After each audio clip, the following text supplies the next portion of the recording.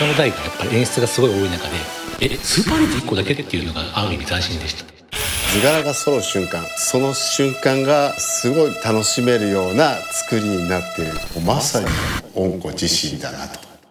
反逆っぷりは豊森らしい台だと思います。反逆のカリスマ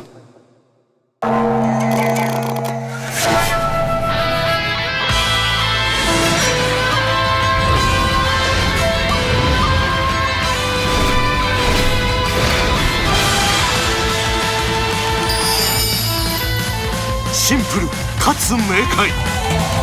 懐かしくも新鮮。長すぎる演出。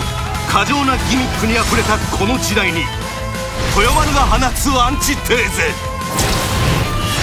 平家物語ついに復活。長すぎる無用な演出を切り捨て。変動時間を極限まで絞り込み。スピーディーかつストレスフリーな遊戯性を徹底追求。さらにスーパーリーチの大当たり期待度を大幅にアップし本当に熱いスーパーリーチを実現。今こそスーパーリーチの進化を問い直す。大当たり時のフルラウンド獲得率は60%大当たり後は必ず高確率ゾーンに突入。チャンスタイムに突入すれば高確率ゾーンに加え100回の電サポを獲得。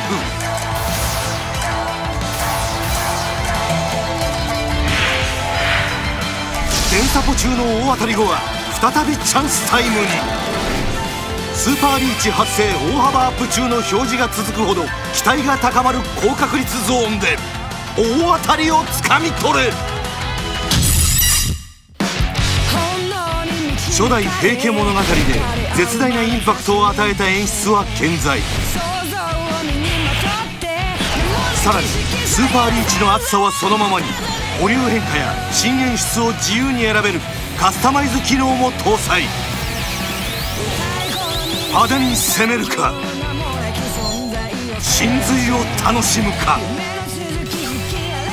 焼くものが派手。とか演出が硬っていう機会僕も嫌いじゃないですけれどもこれはバリエーションの一つとしていい機会だと思います。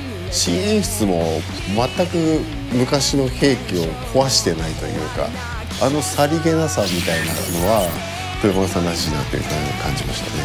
過剰な演出に警鐘を鳴らすっていうのが平家物語コンセプトだったそれと同じ感じで安心します。シンプルゆえに奥深く途切れない期待感パチンコ新時代に捧げる豊丸の教示ユーモアコレクション第2弾「平家物語リローデッド」